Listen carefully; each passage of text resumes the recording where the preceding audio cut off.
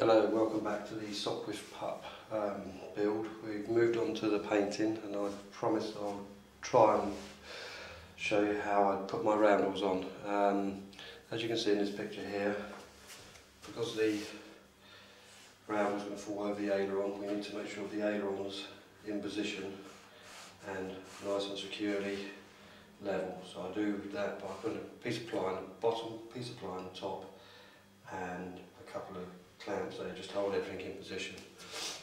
This here, I don't know if you can see too well from the distance I've got this camera set up, but this is actually a pin and this has been mounted in the central location of where the roundel is going to go. Um, again, depending on what type of model you're going to go, depends where the roundel goes. So I've actually lined this up for this particular model. Obviously, if you're doing it on a different model, you'll know where the pin needs to go. So that's all you need to do. Basically what I do is I've got a piece of card with a drawing pin um, sitting on top of it and then a bit of brown um, tape just to hold everything in place. Um, the idea of the card is just to protect the undercovering from the, the drawing pin metal base because we don't want to scratch anything.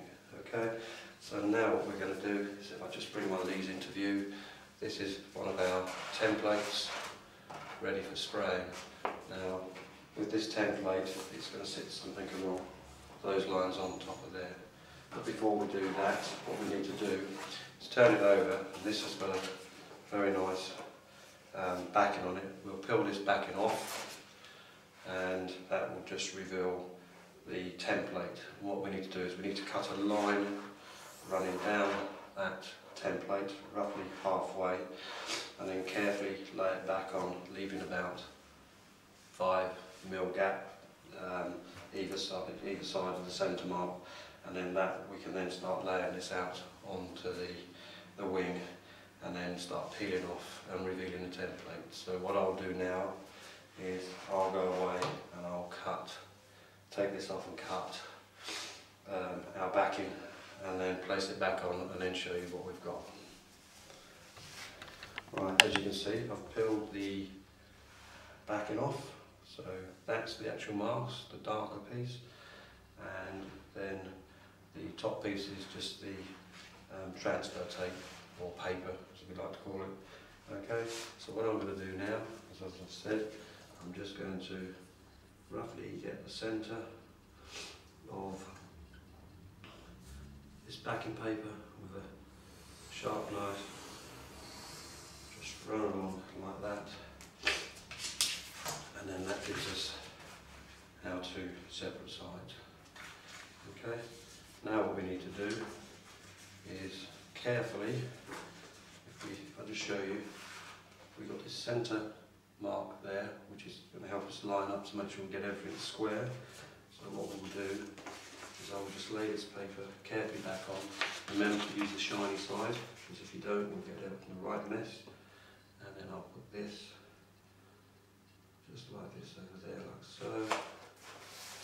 And then smooth it down. Slide this one over slightly. And then repeat the procedure on this side here. And as you can see, from there, that's the result we're looking for. Okay. So the next thing is, is if I can bring this closer to you, you'll see here there's a small hole through there which has been made, made with a pin and that needs to line up over the top of our pin. So what I'm going to do now is I'm going to carefully place this on top of the wing, locate the hole down there and then gently push through. And then you should see now, if I can pan in, that that is sitting through the pin pinhole. The next thing to do now is if I pan back out, is we need to just go along this edge here revealing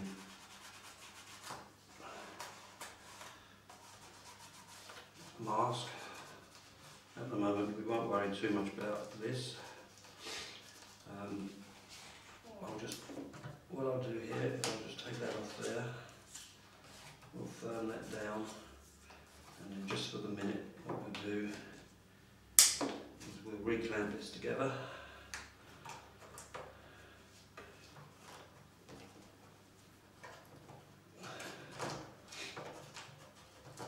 And then just make sure this is nice and firmly stuck.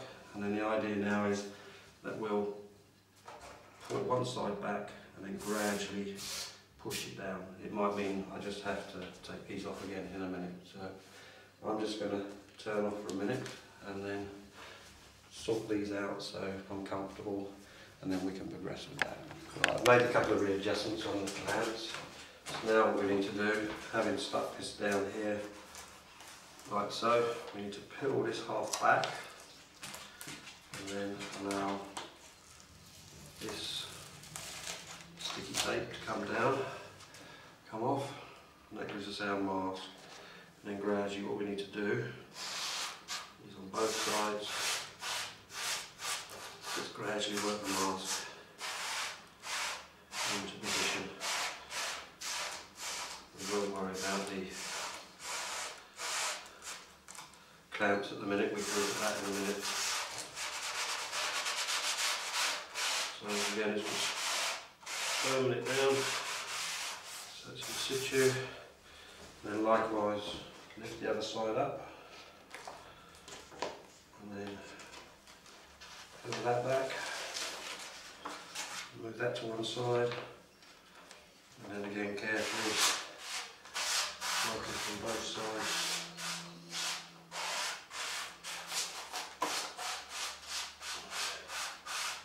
Stick everything down. Right side.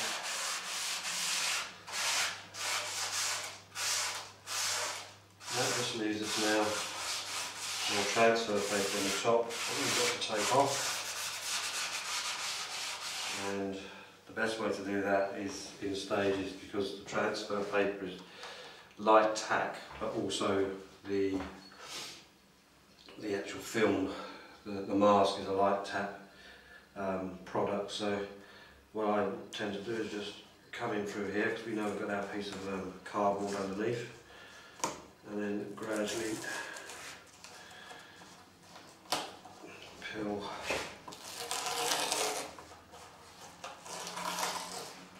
peel off the mask tack. If you do it in stages as well, it's um, it's better. Okay, and I'm working from the outside. Sorry, from the inside out. We just take it in stages, carefully. And that ensures our mask stays in situ. We won't get caught in too much problem. Okay. Drifted a little bit, but if we just go gently, not too much for one go, just tear it in there. Okay. Then likewise.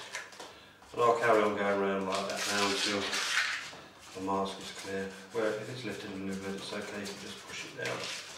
Okay, so I'm going to carry on doing that, and then when I come back, you'll see the mask in position. Right, I've got the rest of the um, transfer paper off, so we're just left with the mask now. So what we need to do now really is just to go around with our finger, or you can use a, the shiny side of this, sometimes it's quite good to do, um, because you're not taking the oils off your fingers onto the transfer, and then just gradually work around making sure that all the the edge of the round circle is nice and sealed. Depending on whether you're putting rib tapes on or not on the model, um, it would depend on the smoothness of the actual surface. You'll find here, I've got some rib tapes here, here and here, and a few around there. you'll find that this stuff is quite forgiving. As long as you're doing it in a warm environment and you just concentrate on those areas and push down make sure that everything's sealed. And you shouldn't have any problems with any bleed from this area here where one of my little servo hatches is going so just want to make sure I've got that nice and firm and it's just a matter of going around and sealing it. This outside edge that sticks down pretty well so um, again it just overlaps the edge there through there and that should give us a nice circle. We've noticed I've put the um, wood over this now um, and clamped it all back in and that's basically what we have there. The next process to do now is to mask up the remaining areas of the wing that we don't want to get the spray on. Um, I mean I probably use a bit of this and I've got some brown paper here as well which I'll do. You just need to remember that this here, because this is our central pin, we're going to use that when we put on our white mask. So that needs to stay in place. So don't get carried away and take this off. This needs to stay in place for um, the process of when we put the the white mask um, down ready for when we spray the white. So that's it so far. I'll go away and mask it up. I think you've seen masking up on some of my previous videos, but I'll do that now and then just come back and show you it ready for, for, for painting.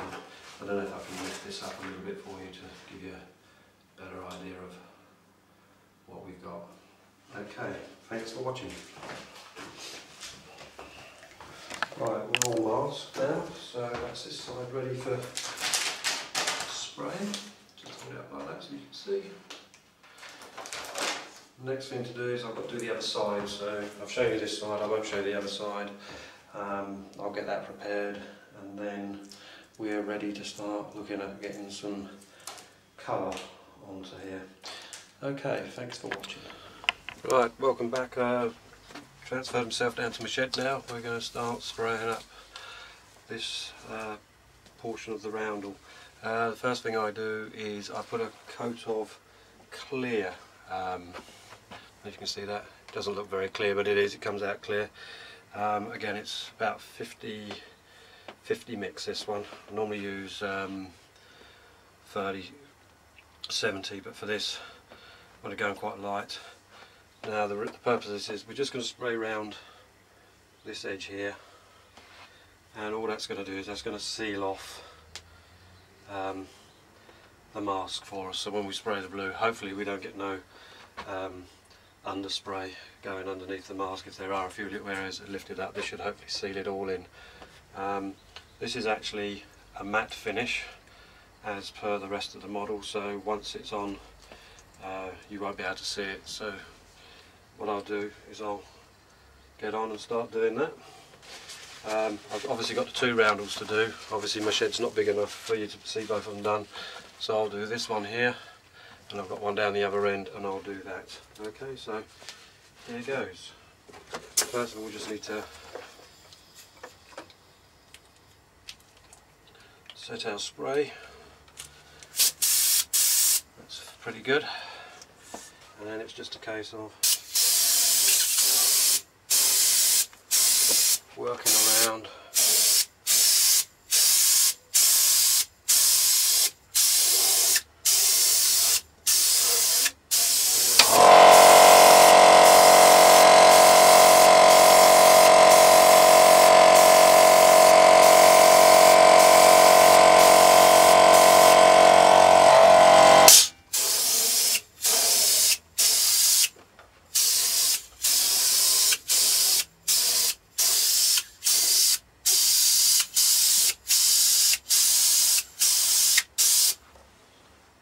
Okay, that's enough of that one there. I'm going to move on to the other round. I'll just turn you, you off for a minute and then I'll come back.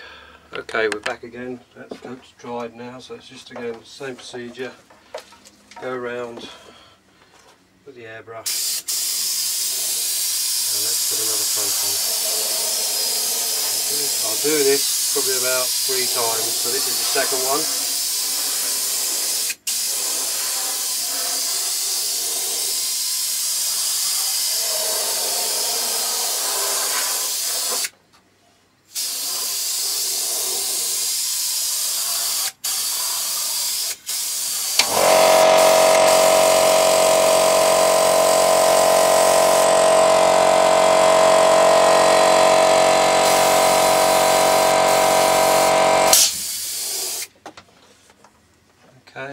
So to dry and I'll be back in a minute. Okay, last coat now and then we should be ready to lay some of the, the blue on.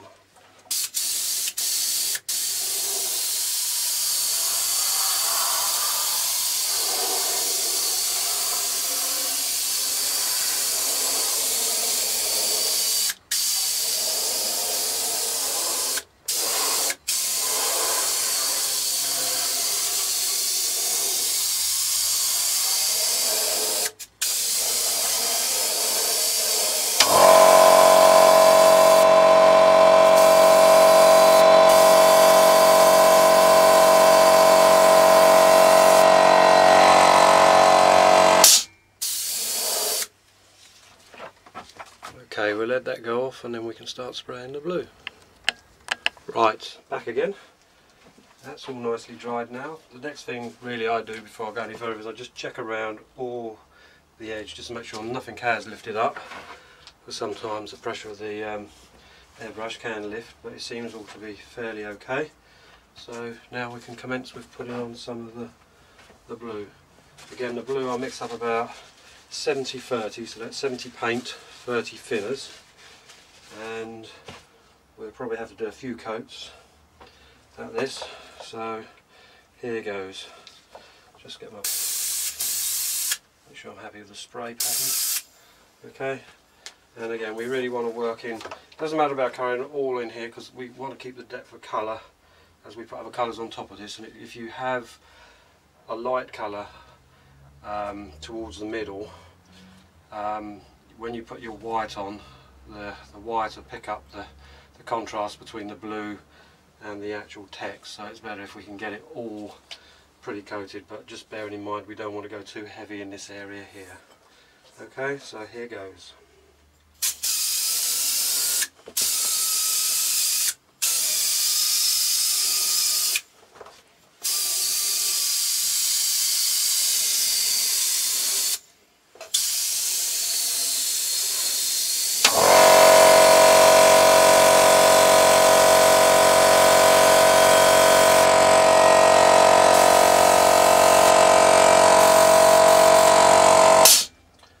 Okay, that's the first one, so I'll just turn off for a minute and then we'll have a go put some more on in. As you can see I've done another coat, but, um, you won't want to see them all, but um, we're going to put another one on now, okay?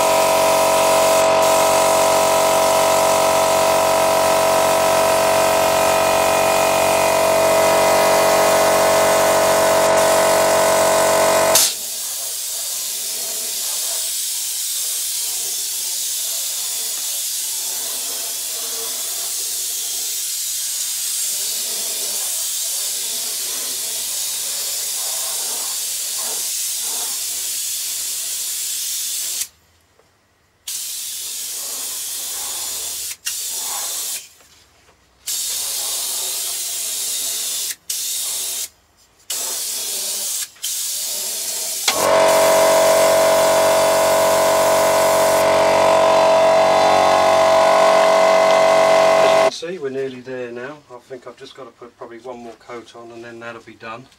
Um, obviously I've done both roundels and then what we'll do is we'll let that dry off and then we'll peel it off and then we'll see what the results like. I'm hoping it's pretty good.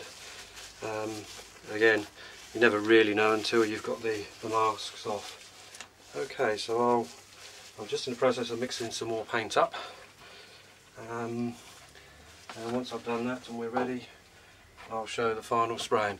Um, it might just be worth noting as well, some of these paints as well, um, you can get little bits of particles in them, so I always filter mine through a bit of um, cloth, just to get any um, big particle, particles of, paint out, um, so it goes through the airbrush a bit cleaner.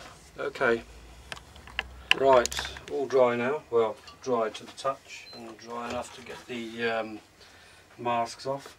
So here goes, I'm going to try taking this off and hopefully um, we'll have a nice result.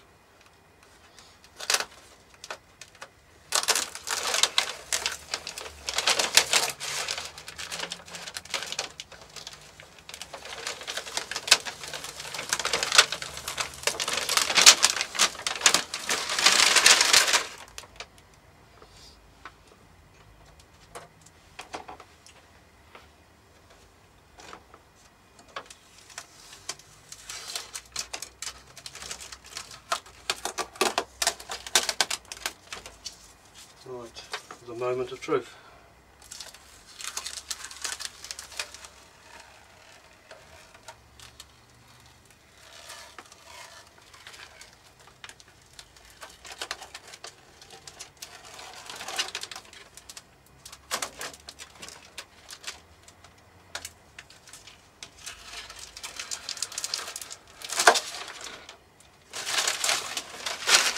Okay, so there you see we have it. It's, um, pretty good. There's a just pop this back on here for a minute. Um, I'll be honest with you, there's a very slight little bit there of overspray, but we can get that later on. But apart from that, I'm pretty comfortable with what we've what we've achieved. Okay, so that's putting that roundel on. The next, the next thing was we would go through the same process again with the mask for the white. That'll be laid on top in the same manner and then we'll spray that up. Um, again I'll video that for you and then it's just a case of after the white's on doing exactly the same thing again with the red and then that's our um, A-type roundel applied to the bottom wings. Okay, thanks for watching anyway.